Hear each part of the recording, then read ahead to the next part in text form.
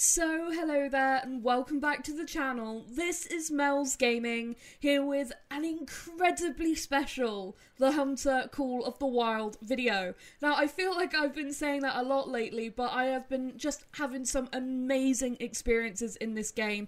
And last night, I was lucky enough to have one of my favourite all time experiences. This was incredible. I was hunting snow leopards, trying to get as many respawns as possible, which is something I have been doing ever since we first got access to this map, is killing as many snow leopards as possible, hoping for, you know, trophy snow leopards. And ever since we found out what all the rares were, it's been my goal to get all of the different rares in single player to be able to film them up close and we obviously got the leucistic whilst uh, hunting for the Great One not too long ago. But last night, as I was running around trying to find where my leopards were to try and get some more respawns, I picked up the track of a sort of midweight estimate male and I was just chasing it along, waiting to get a spot on it so that I could actually shoot it and get the respawn. When I picked up the disturbed vegetation that said melanistic, and I just about lost my mind. Look at this cat. He is absolutely stunning. So initially, I found him in that rest zone, and so I came back and got footage of him in that rest zone. But unfortunately, it just wasn't the easiest place to get any really good footage of this guy. So I spent hours trying to get him to go to his feed zone after that rest zone and actually leave tracks because sometimes I would wait and then there'd be no tracks. Or actually, at one point, I followed him to this spot and he never left a feed zone. It just, there was no zone at all, so I didn't know that this was actually his zone location. So it took ages, but finally managed to locate his feed zone in this area and managed to get some really, really up close footage of this incredible cat.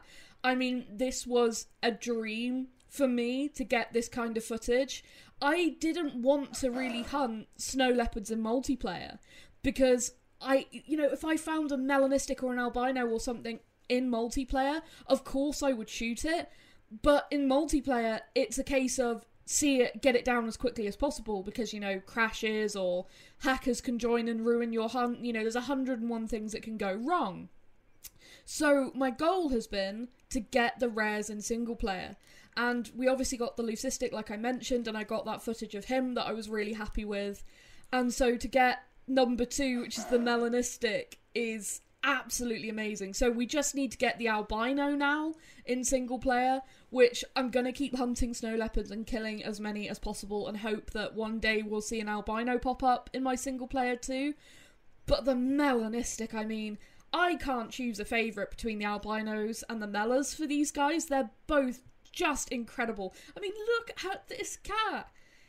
This is such a rare thing. Like, snow leopards in general, there's only a few of them on anyone's map at any given time. So getting diamond ones, getting rare ones, is something really, really rare. And that's why I wanted to be able to, you know, appreciate the moment of coming across one. And it was so much fun with the leucistic. But as soon as I picked up that melanistic track, I was like, this is literally one of my dream animals here on Sundarpatan and I started freaking out. My heart was in my mouth. I was panicking. I was like, there is no way that there is a Mela snow leopard on the map. That is actually incredible. He's so, so beautiful. Like, you can see he's not completely just like a jet black with no markings. You can see he still has the, the rosette spots there that are visible, which it it's just magnificent. Absolutely incredible. And when he turns and you see his eyes, the eyes on this cat are just stunning. I mean, everything about this animal is stunning, and this this is my favorite thing to do in this game is you know find really really rare trophies and then get to film them. That's why I do the Great One hunts the way I do. That's why I do all of these different hunts for these rare creatures and you know trying to get them in single player and then just loving filming them. It's such a cool experience for me. Now, after we got all of that footage, which, you know, that's like three or four hours of footage that I've cut down into the best moments. But finally, I decided that it was actually time to take this guy out.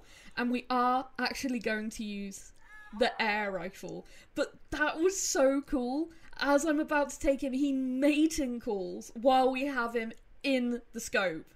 So, so cool and then he stands back up from feeding. I felt like that was, you know, my shot opportunity. I took the shot, and as you can see, he does not go very far before he actually drops. We could see that vital blood instantly on the ground. It was such a nice clear view.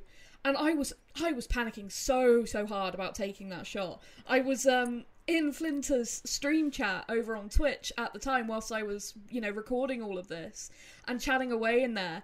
And I said I'm gonna take him with the air rifle, and Flint said, "Oh, that's a bold choice." And I was like, "You've just made me like ten, ten times more nervous than I already was."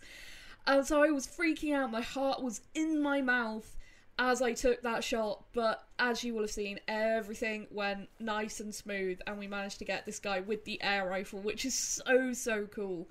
And just appreciating the details on this guy, sort of the yellowish green eyes, which in some lights they look way more yellow and then in some some lighting they look way more green. And then like i said they're not completely just pure black fur but sort of black with reddish tones and then you have the spots. It's just fantastic. And he is a level 7 so he does actually make gold at 27.54 what an incredible cat. I mean just wow that is one of my all time favourite trophies, favourite hunts, favourite experiences. Everything about this was so unbelievably cool. And I chose the air rifle because, you know, I took my last Great One Tahr with the air rifle and I said I wanted to use it more on more trophies. And I knew I wanted to get super close to this guy and, you know, being class 4, it was it was just a perfect fit to try and take this guy with the air rifle, I thought. And I thought it's probably something that maybe a lot of people haven't done is shot a snow leopard with the air rifle.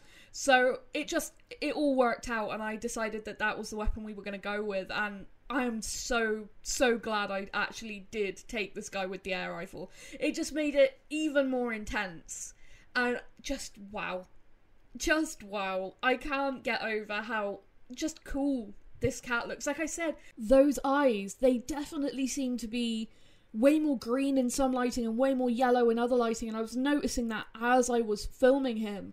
And just the bright colour of those eyes compared to the very dark body, it just looks insane. I mean, they did such a fantastic job with the models and the furs for these snow leopards. I mean, I never ever dreamed of seeing snow leopards in Call of the Wild. I just thought it was something that would never happen.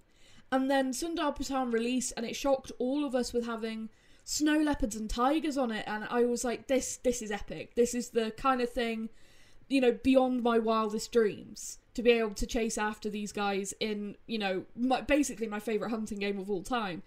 And then getting to chase after the the trophies for these species is just absolutely, you know, for me it's insane and something like I said that I never thought I would get to see and I'm so just beyond thrilled that I managed to actually get this guy last night. Just, I was so excited. I couldn't contain my excitement when I picked up that track and my heart just stopped when I picked up that vegetation and it said melanistic. I just lost my mind. Started messaging everyone I knew saying, There's the melanistic, you know, because I've been shooting as many of these cats as possible, like I said, since we very very first got access to this map in early access, just trying to get as many trophies for this incredible species as possible. So seeing it pay off with the four trophy leopards I've had off of this map so far, you know, the two diamonds and now two rares, it's been epic. Absolutely epic. And getting them all in single player to me has made it even more special because I've got to have these up close encounters with them all. And it's been just so incredibly epic. But that is going to be it for this video. Uh, this guy he just deserved his own video. You know, I wanted this to be its own video, not just in a trophies montage.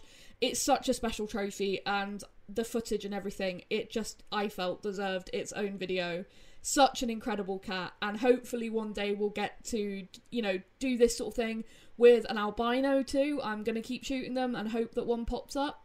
But I couldn't be more thrilled with getting this trophy. What an amazing experience. But that is going to be it for this one. So thank you so, so much for watching and for all your amazing support as always. And I will see you in the next video. Thank you.